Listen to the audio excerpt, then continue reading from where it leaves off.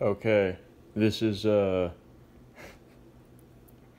a chicken chalupa review from Taco Bell, specifically requested by Green Doge. I'm gonna put his channel uh, in the description of the video.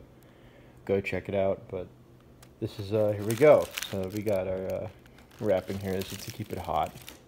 Uh, it's, it's not a toasted breakfast burrito. So if you guys don't know, this hasn't been on the Taco Bell menu for about oh, I'd say three years. And as you can see, the shell is made entirely out of chicken. That is it. Mm, that's really what it is. Let's, uh, it's got this really good guacamole sauce. So let's take a bite. I'll give you my verdict.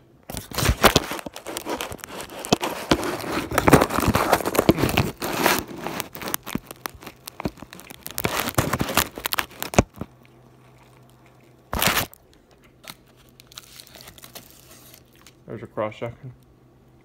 And uh, I gotta say, man, yeah, that tastes like sex.